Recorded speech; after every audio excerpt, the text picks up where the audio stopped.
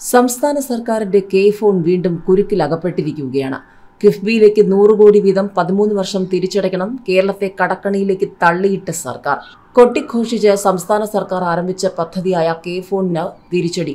വൻ സാമ്പത്തിക കുരുക്കിലേക്കാണ് പദ്ധതി നീങ്ങുന്നത്. പതിനായിരത്തി അൻപത്തൊൻപത് കോടി രൂപ വായ്പയെടുത്ത് ആരംഭിച്ച കെ ഫോൺ ഒക്ടോബർ മുതൽ കിഫ്ബിയിലേക്ക് നൂറ് കോടി രൂപ വീതം തിരിച്ചടയ്ക്കണം. തുടർച്ചയായി പതിമൂന്ന് വർഷവും ഇത്രയും തുക തിരിച്ചടയ്ക്കണം. നിലവിൽ ഇതുവരെ മുപ്പതിനായിരം ഇന്റർനെറ്റ് കണക്ഷൻ മാത്രമാണ് കെ ഫോൺ വഴി ലഭ്യമാക്കിയത്. അയ്യായിരം കണക്ഷൻ ബി കുടുംബങ്ങൾക്കാണ് നൽകിയിട്ടുള്ളത്. ബാക്കി സർക്കാർ ഓഫീസുകളിലും വാണിജ്യ കേന്ദ്രങ്ങളിലുമാണ് പ്രതിമാസം ശരാശരി അറുന്നൂറ് രൂപ വീതം ലഭിക്കുന്ന ഒന്നര ലക്ഷം കണക്ഷനെങ്കിലും ഉണ്ടെങ്കിൽ മാത്രമേ തിരിച്ചടവിനായി നൂറ് കോടി ലഭിക്കൂ.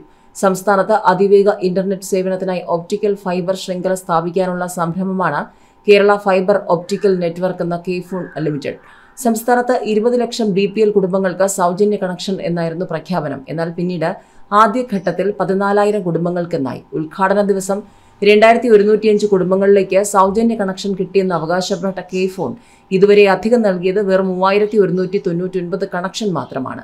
മുപ്പതിനായിരത്തി നാനൂറ്റി മുപ്പത്തിയെട്ട് സർക്കാർ ഓഫീസുകളിൽ ഇപ്പോഴും ഇരുപത്തൊന്നായിരത്തി എഴുപത്തിരണ്ട് ഓഫീസുകളിൽ മാത്രമാണ് കെ ഫോൺ കണക്ഷൻ നൽകിയിട്ടുള്ളത്. നിലവിൽ കണക്ഷൻ ഉപയോഗിക്കുന്നവരും കെ ഫോൺ ഉപേക്ഷിക്കാനുള്ള പദ്ധതിയിലാണ്. വേഗതയേറിയ ഇന്റർനെറ്റ് ലഭ്യമാകാത്തതാണ് പ്രധാന കാരണം. പദ്ധതിയിലെ പോരായ്മകൾ കാരണം കരാർ ഏറ്റെടുത്ത കമ്പനികൾ പിന്മാറുകയും ചെയ്തു. തദ്ദേശ വകുപ്പ് നൽകിയ ഗുണഭോക്തൃ പട്ടിക കൃത്യമല്ലാത്തതിനാൽ പിന്മാറുകയാണ് എന്നാണ് കമ്പനികൾ അറിയിച്ചിരിക്കുന്നത്.